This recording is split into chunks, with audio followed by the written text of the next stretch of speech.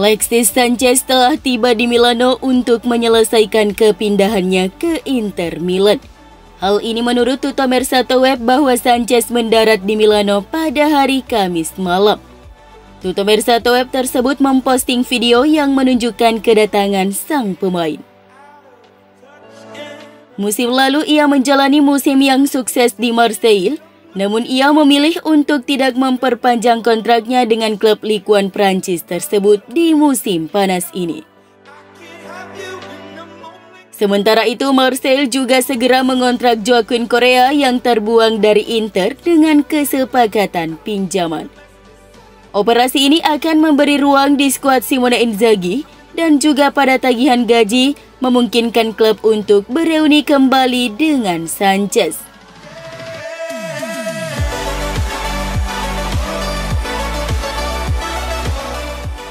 Inter dikabarkan telah memberikan batas waktu kepada Bayern Munchen untuk melepaskan Benjamin Pavard. Melansir Sky Sport, Nerazzurri hanya memberi Bayern waktu tiga hari untuk mengizinkan Pavard merampungkan transfernya ke Inter.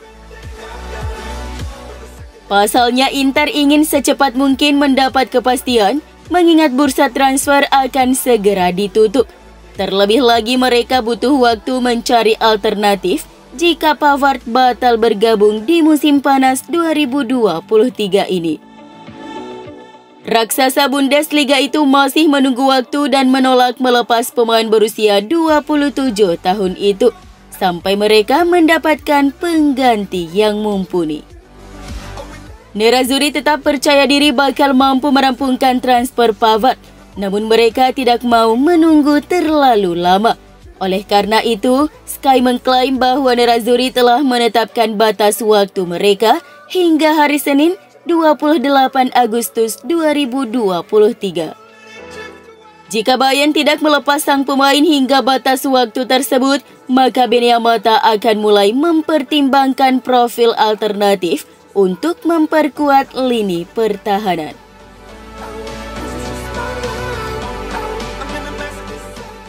Inter Milan dikabarkan telah mempersiapkan plan B alias rencana cadangan jika gagal merekrut back Bayern Munchen, Benjamin Pavard di bursa transfer musim panas 2023 ini.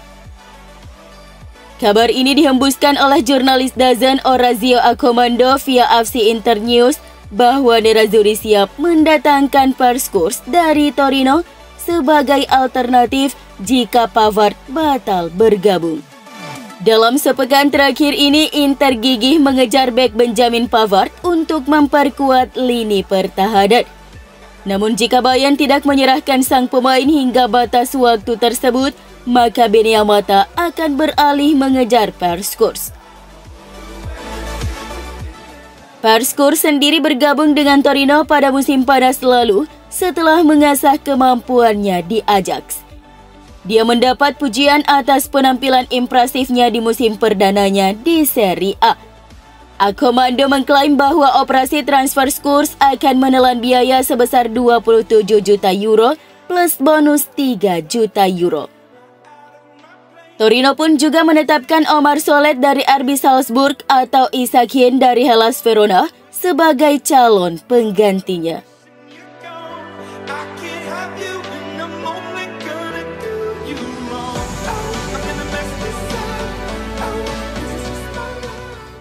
Bek Lecce Federico Basiroto telah ditawarkan ke Inter sebagai solusi sementara berbiaya rendah. Sambil menunggu kedatangan Benjamin Pavard musim panas mendatang dengan status bebas transfer. Menurut laporan yang datang dari FC Internews.it. Bek Italia berusia 26 tahun ini telah ditawari ke Nerazzurri melalui perwakilannya Sejauh ini tidak ada negosiasi yang dilakukan antar klub, mengingat Inter terus menunggu situasi Pavard terungkap dengan jelas. Mengingat tenggang waktu tersisa enam hari lagi, Inter tidak ingin memulai kompetisi dengan kekurangan satu bek tengah dan sedang mengevaluasi situasi terburuk jika benar Pavard tak kunjung tiba. Basiroto musim lalu tampil cemerlang di Lecce dengan tetap mempertahankan klub berjuluk Salentini tersebut tetap berkiprah di Serie A dia tampil dalam 38 penampilan musim lalu, mencetak 3 gol dan 1 umpan gol. Dia juga menjadi aktor yang menentukan kemenangan Lecce atas Lazio di pekan pertama Serie A.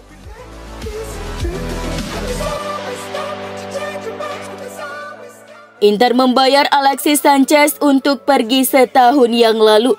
Namun mereka membawanya kembali setelah kepergian Joaquin Korea yang akan bergabung dengan Olympique Marseille dengan status pinjaman dengan opsi untuk membeli sehingga secara teknis mendapatkan keuntungan kecil. Banyak yang terkejut dengan berita bahwa Alexis Sanchez akan kembali ke San Siro hanya setahun setelah Inter membayarnya untuk mengakhiri kontrak lebih awal dengan persetujuan bersama agar gajinya tidak lagi memberatkan keuangan klub. Sanchez kembali dengan berstatus bebas transfer setelah satu musim bersama Olympique Marseille. Menurut Calcio Efinanza, kepindahan dua pemain akan berdampak pada keuangan klub. Korea dibeli dari Lazio seharga 32,5 juta euro pada tahun 2021 dan saat ini pemain berusia 29 tahun ini masih memberatkan keuangan Inter senilai 16,9 juta euro. Karena kepindahannya ke Prancis adalah opsi pinjaman, maka Inter akan tetap menanggung amortisasinya senilai 8,4 juta euro namun secara otomatis akan hilang apabila persyaratan kewajiban dicapai. Namun memperoleh 2 juta euro untuk biaya pinjaman tersebut dan tidak perlu membayar gaji kotor yang memberatkan keuangan klub senilai 6,5 juta euro. Menurut laporan, Sanchez akan mendapatkan gaji bersih 3 juta euro per musim dengan kontrak jangka pendek. Dan karena dia baru berada di Italia setahun yang lalu, dia tidak akan bisa memanfaatkan diskon pajak dari program pemerintah Italia. Yang berarti Inter harus mengeluarkan biaya gaji kotornya sebesar 5,55 juta euro per musim.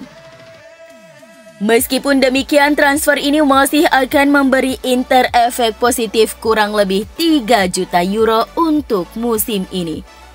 Dibandingkan untuk mempertahankannya, Inter akan menelan biaya 14,6 juta euro dan apabila ditebus oleh Marseille, Nerazzurri mendapatkan keuntungan modal bersih senilai 1,5 juta euro.